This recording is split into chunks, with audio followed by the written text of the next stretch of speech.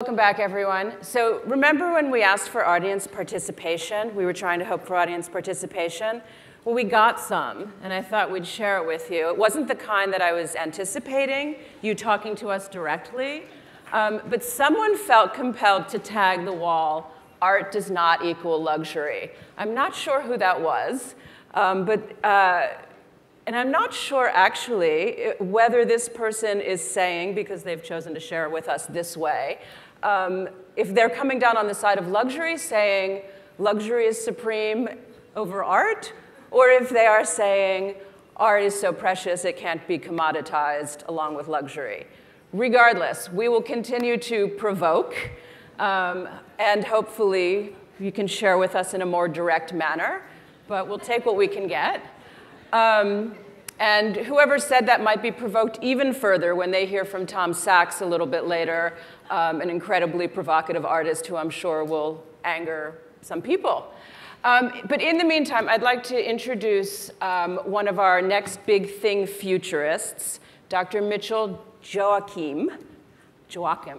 Ah, jo Joachim, excuse me, um, who's an architect, a professor at Gallatin. Um, I've just learned that some of his esteemed scholars are Emma Watson and Forest Whitaker.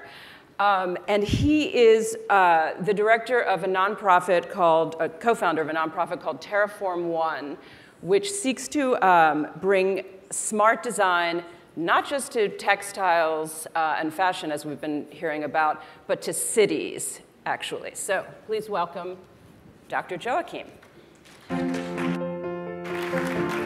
Hi, super great to be here. I'm having a ton of fun. So uh, I'm going to show you some of the work that we do in Brooklyn, New York. I'm a member of a 501c3 nonprofit company called Terreform One, and we look at, I think, one of the, probably the biggest luxury items you can think of, uh, the smart city.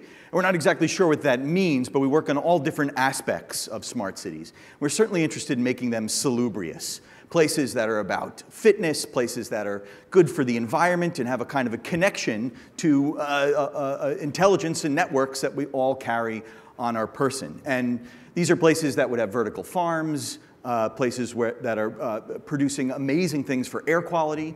Going down the center of some of these areas, we're anticipating climate change and sea level rising. So you'd have a riparian corridor with aqueous life. Uh, light rail transit, a uh, city that's mostly walkable because it's the best way to experience a city is on your foot. Uh, and solar panels, et cetera, and we do this kind of uh, work. We also do a lot of work in biology, and I'm going to show that. And uh, another thing we do is explain to folks, not perhaps super intelligent uh, folks like yourselves or people that are aware of what's happening every day in cities, but perhaps Homer Simpson, who's not paying attention to much, uh, except for sports. And we try and bring out the abstraction in really uh, terrible and difficult statistics. Things like how much trash do we produce in a given day in New York? So it's around 36,000 tons of waste every day. And I, and I don't know what that means. So we kind of articulate that in, in, these kind of sculptural objects and different projects we work on. So this is one hour's worth of that waste, which takes up more than the volume of the Statue of Liberty every single uh, hour in New York. So that would, I, I don't know if it'll change Homer Simpson's mind, but at least it's there and the awareness that we're trying to reach people is, is a part of the project. Uh, we also decided to build a hacker space, a biohacker space from scratch. It was the first of its kind. Uh, it was called BioWorks, and now it's called GenSpace, another nonprofit. And this is a place where scientists and designers work side by side. It was a kind of a fantasy that I had with my roommate, uh, Dr. Oliver Medvedik, at Harvard. He was in the medical school, and I was in the design school, and we just did it really for shits and giggles and then created all these projects out of it. Now it's blown up and a lot of other folks are, are working in this kind of uh, environment. So this is one of the things that uh, we had produced. It's a chair grown from mycelium, or essentially the root base of mushrooms. In this case, it's reishi. And we're able to shape and control the geometry of mushrooms. That was pretty cool. And we decided to uh, then create a form for it. And we've got many different variations of this one. This is the one that we're productizing, but it is, uh, it's, it's fully grown. The mushrooms in a lab take about seven days. There's a company, Ecovative, that we're licensed to do this work with. Uh, we've been doing a lot of R&D. And then the structural frame is, uh, is bamboo, which is very sustainable and easy to produce and, and fairly cost effective. So we have these fantastic mushroom uh, chaise lounges. And there's another version of the chair, a much smaller one. This one's coated in acetobacter.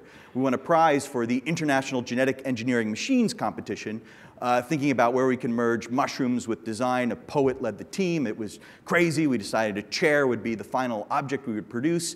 And here it is. That's my uh, daughter sitting on the chair. It is a chair you can eat. You really wouldn't want to, but you certainly can. When you're done with this chair, unlike an IKEA chair, uh, you can throw it, instead of into a landfill, you can throw it into a garden and feed thousands of other forms of life. It contributes to this kind of sense of abundance we find in biology. Another project we were working on uh, was thinking about how we could print cells into different shapes and forms. This is a printer made at, at uh, GenSpace. It's essentially everything you see in the DIY maker movement. It's a kind of an open source 3D printer combined with, uh, uh, with a syringe, which is everything or almost everything you need to do in regenerative medicine or, or various uh, lab, wet lab work. So it's a syringe that'll print cells into a specific shape. We actually had a paper that was produced at Harvard when Oliver was working years ago. Uh, this is an earlier project, modifying an inkjet printer to do the same thing, print cells flat and then fold them up into a geometry that's usable. It's called tissue engineering. It's commonly used in medicine to replace uh, your bladder. For instance, if you've had, uh, you need an operation, you can do cartilage in the knee, etc. But it makes victimless leather. So essentially, this is a, you're not hurting anything. No sentient creature is harmed. You're printing cells in vitro to make things like a, leather belt, a handbag, uh, a shirt, what have you. And it's uh, something that you can absolutely control and author. So we were working with this project really early on as a propaganda piece. How big can you go? Since we worked on making the lab ourselves as designers and architects with the scientists, we knew the limitations of the equipment. We understood how they were working and we were getting to some of the operations at a finer, visceral scale.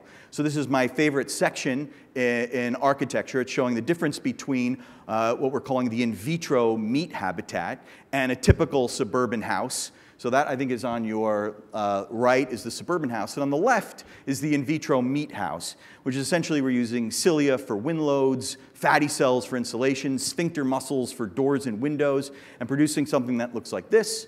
Uh, we didn't know what shape it would be, but it's this exploration into finding the extended phenotype of humans.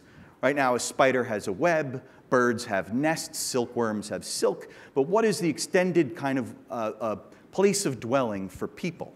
And it's a very different kind of organic architecture. It's not your grandpa's organic architecture, which is Frank Lloyd Wright, concrete, glass, and steel, and mimicking nature. It's actually working with bits of nature as they are and thinking about shaping them for our use. And then eventually a deeper uh, a connection over time. Right now, it's just basically building out things to a certain shape. Here's one of the versions that we have produced with tissue engineering techniques. Essentially, it's this articulated swine leather. It's about $3,000 per centimeter to do this in tissue engineering, which is probably affordable in this crowd, but it's definitely getting cheaper all the time.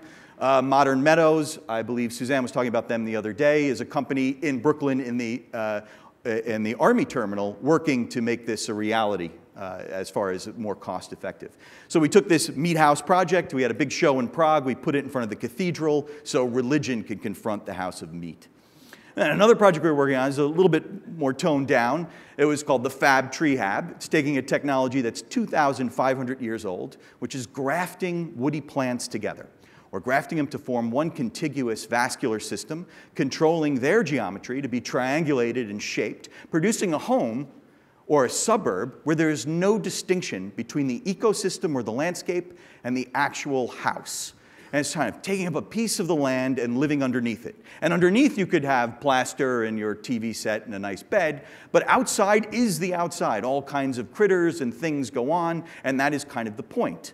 It is a, is a home that is connected to the Earth's metabolism. It's something that you actually grow. It is a completely living organic structure, and there's no genetic modification in something like this. We use scaffolding and computer geometry to control how these vines and woody plants weave together, connect them to a primary structure, such as a tree, and you get a whole home created out of just, uh, I would guess, nature itself. Point here is that it's a positive contribution to the ecology. It doesn't uh, uh, take away things. It actually is accountable for the uh, industrial pollution that we've already created. It helps scrub the air. It produces oxygen, sucks out carbon, and is trees. It does take some time to grow, so there's always some curmudgeon someplace on a blog or whatever saying, I don't want to wait, you know, seven years for my house to grow. Why can't we speed it up? It's this kind of culture of affluenza and sense of immediacy that we find. But you know what? If we wait 12 years for a bottle of scotch, I think we can wait five to seven years to make homes that fit into our environment. And the, thank you. And this, this last project uh, is, is, a, is a view of population and that's us.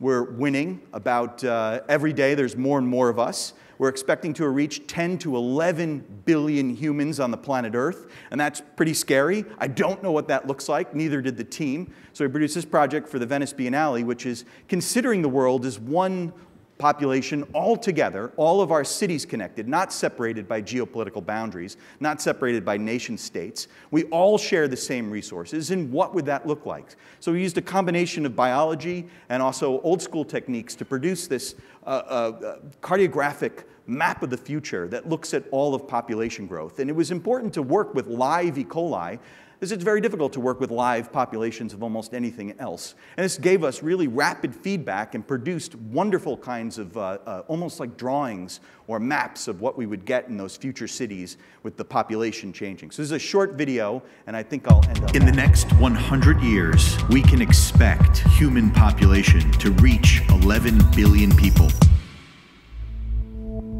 Is this something that is sustainable? The largest amount of people on this planet Earth live inside this circle. We use the Buckminster Fuller Dymaxion map to take a view of the world and look at the 25 densest cities on the planet Earth. Our biomap displays population density as a parametric graph on the front. The back zooms in on each of these cities designed and built and grown inside petri dishes we chose colonies of E. coli as a method of analog computation. Population density was represented in two different forms of bioluminescent E. coli. Red represented future projections of population density, while green represented existing conditions you would find in cities. Biology is technology. We use the dilution method to show the range of densities of E. coli populations in each petri dish. Stencils derived from CAD files would shape the E. coli into specific geometries that would show or display the current conditions in cities. We wanted to move away from the current paradigm of studying population through computation. We wanted a different method to explore how humans might affect the Earth. Cartographers, urban planners, biologists, and architects all working to think about a map of the near future of human population. Okay, super. Thanks very much, guys. We'll see you out there.